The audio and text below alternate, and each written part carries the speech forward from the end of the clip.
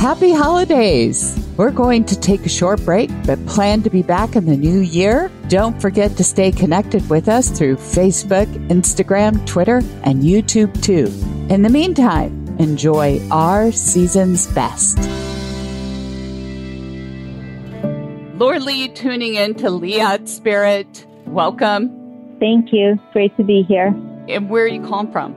I'm calling from Encinitas, California. Leah, first thing I've got is I just see a funeral as if it was recent within the last month or two. Does that make sense? Yes. And I feel like you helped organize it or you were part of the organization of it. Yes. The spirit that's coming in, I feel it's female and she's on the maternal side. This is your mom that just crossed. Yes. Yeah. She says that you've already connected with her.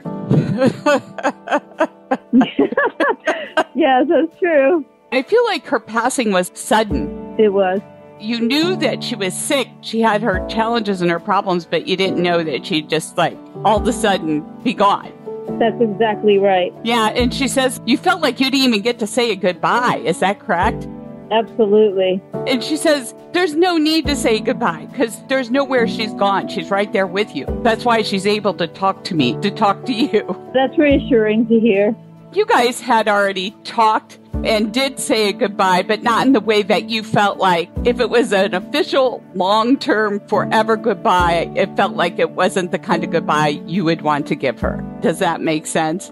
Yeah, and I feel like I missed out on being there for her at, at the end because she was probably all, you know, she was all alone and Yeah. probably scared. Yeah, and she says it was okay because if you had been there, you know, she probably wouldn't have gone because I feel like she was found.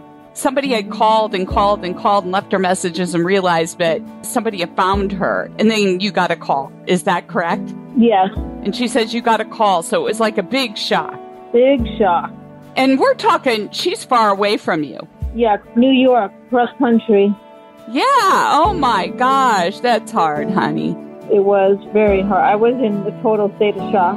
Yeah. And I'm sure you still are because it's still fresh because she shows me that the ceremony just happened. She says thank you for your contributions to that and honoring her.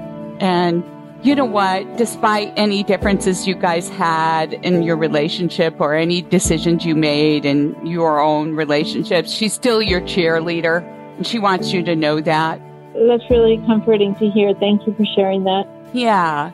And she will always, always, that's why she's here right now to make that connection with you. And when you decided to make the relocation, she knew that she was going to miss you greatly and miss out on the day to day connections with you, but she knew it was something you had to do for a quality of life.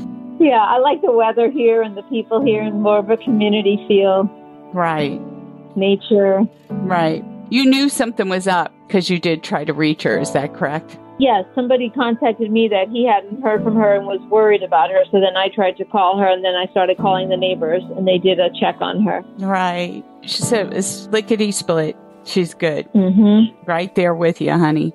Did she say what she died of? You know, she did show me a bunch of prescription pills that she had around her. I'm not saying it was the prescription pills necessarily. I just feel like there was something that needed to be changed and looked at, and the follow up didn't happen, if that makes sense. Absolutely. She didn't get in there enough in order to see anything that had risen, but I just also get a profound sadness because I felt like she was, like you said, alone. Mm-hmm. Yeah. She was always afraid of dying. And she didn't believe in all this like communication mediumship, but I knew she would once she got to the other side. Well, here she is. I feel like she was a little bit more open than you realized. So she had hoped for the possibility. But anyway, thank you, Liat, for sharing your time with me today. Thank you so much for these comforting messages. This is great. Good. And if you'd like to call into the pre-recorded show like Liat, sign up at radiomediumlauralee.com. And listen, you can tune in to Spirit with me daily by subscribing to the podcast and please share it. And also know you can connect with me at Facebook Radio Medium Laura Lee Group. You can also touch base at Instagram, YouTube, and Twitter too.